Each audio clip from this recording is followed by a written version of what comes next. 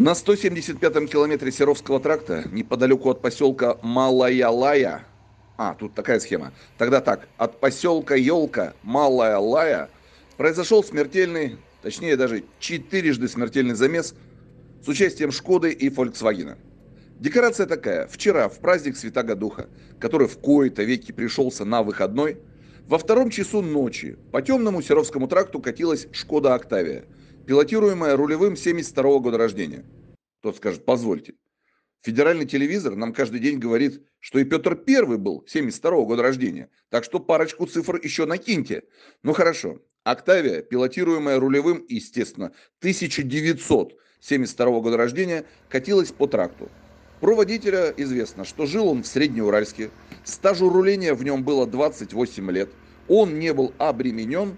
И в прошлом году был лишен прав на полтора года за руление в пьяном виде.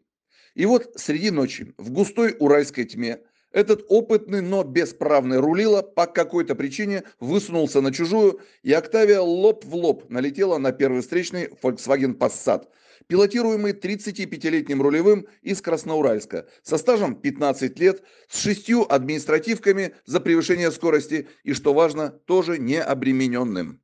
При лобовом таране белый посад выплюнул с трассы в кювет, э, хотя нет, надо же описывать события согласно рейтингу важности он их.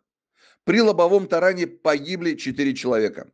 В чешском универсале покинули этот мир виновник замеса и его 47-летний пассажир. В невиновном пассате отлетели на небо рулевой и его пока не идентифицированная пассажирка. И вот тут можно добавить, что удар был такой силы, что пассат выплюнуло в кювет. Вот такая печальная история. Два пилота и оба не пристегнутые. Кстати сказать, для полноты картины.